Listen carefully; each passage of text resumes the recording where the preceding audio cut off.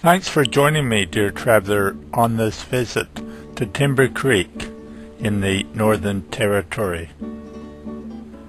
Timber Creek is a very isolated and a rough and ready sort of place that's gained some recognition through such things as the Crowe Kidman movie. It's got some way out freaky uh, habits such as the kicks from a donkey drop on Australia Day, when donkey legs are used to see who can throw them the furthest. The town, with a population uh, of less than 100, is located between Kununurra in WA and Katherine in the Northern Territory. It's not quite on the Victoria River, but very close. It's the gateway to Gregory National Park, a magnificent park with mind-boggling escarpments and cliffs, spinifex and boab trees. This Google terrain map shows the uh, rough nature of the terrain in this particular area. A town map showing uh, places you can see the uh, trail into the river to the policeman's post. There's two caravan parks side by side. The Timber Creek Hotel and Caravan Park where I stayed and the Wayside Inn and Caravan Park which is located right next door and not quite as large. This uh, 1999 newspaper article was interesting Timber Creek was famous in the Northern Territory for having a pub that never closed its doors. In fact, it didn't have any doors. But this tradition was about to change when local Aboriginals bought the Timber Creek Wayside Inn. The uh, Indigenous organization representing 16 Aboriginal communities paid 1.5 million for the pub. I didn't think much of the Wayside Inn, and uh, the beer is expensive. Uh, in fact, I didn't even go in. The uh, caravan park was um, empty, as uh, was mine in November. The nice thing about Timber Creek is that it celebrates a lot of its local history. Um, Gregory's tree actually dates back to the mid 1800s.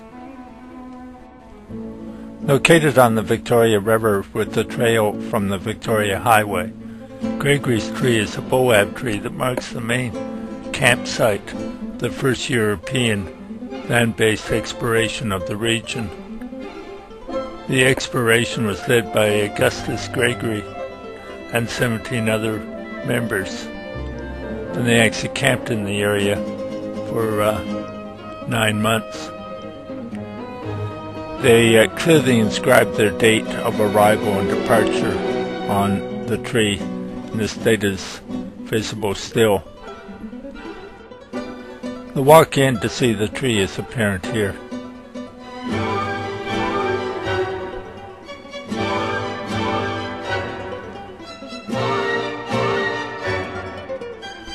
This close-up shot shows the date, the 2nd of 1856 the information underneath is not so clear. This is a bit more visible, the 2nd of July, 1856. Carving dates into boab trees seems to have become a bit of a tradition. This one is H.E. Lee Hunter, 1900. An early shot at Timber Creek showing the early construction of uh, a landing field the Victoria River is clearly apparent, as is the flat land around the river. Uh, the uh, myth mythology that the area was wonderful with uh, fertile soil and uh, fresh waters from the river um, and savanna grassland led to the rapid settlement by the 1880s of um, stations with cattle. Uh, Aboriginals who knew the area were used on the northern cattle stations. This uh, book refers to feudal exploitation and accommodation in that um, the Aboriginals were used and not paid much, but they were able to sustain their culture and live in the area. Many became expert stockmen, skilled in horse riding and caring for the cattle. Geoffrey Bolton, a renowned uh, Australian historian, notes that economically, um, working on the stations were not uh, a good bargain for the Aboriginals, but culturally and socially, it um, preserved their culture and way of life. So a curious symbiotic relationship developed between the white bosses and the Aboriginal employees. It wasn't until the 1960s that the wage issue came in uh, that um, the Aboriginal uh, people were thrust off the land. Even today, driving down the Victoria Highway, we had to make way for cattle along the unfenced road. Timber Creek, at a very early stage, around the very late 1800s, became an administrative point and police headquarters for the region. An early police station seen here with galvanized iron. The main job of the police were uh, supervising um, the Aboriginal communities. The um, Timber Creek police station here.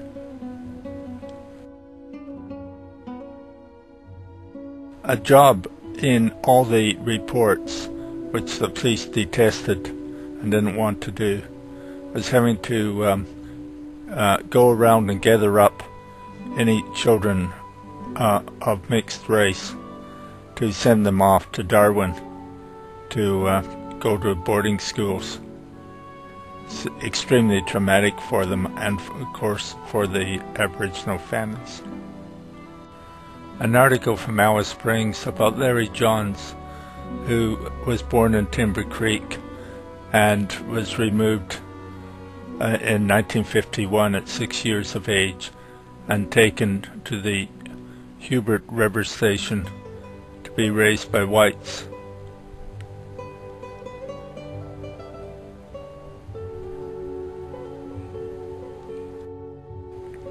Early transport in the region uh, involved uh, donkeys and horses.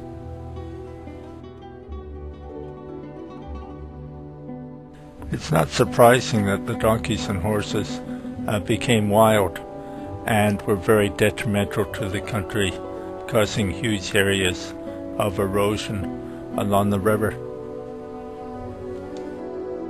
A government report uh, with landowners meeting to discuss the killing of feral donkeys and horses in the Victoria River District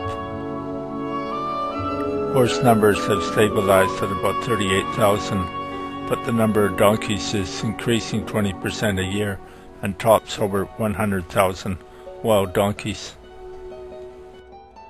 By the 1950s, uh, trucks were beginning to be used for cattle transport, uh, but conditions were pretty primitive as uh, this uh, driver uh, camped 21 miles from uh, Timber Creek and posted the way to get there.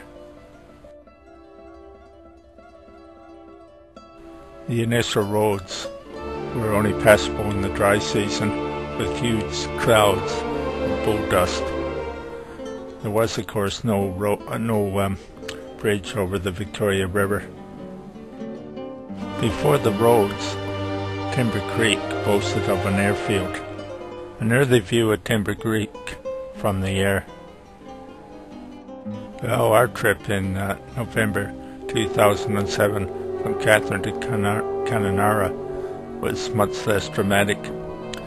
We did get advice on this highway sign giving us uh, tips on safe driving.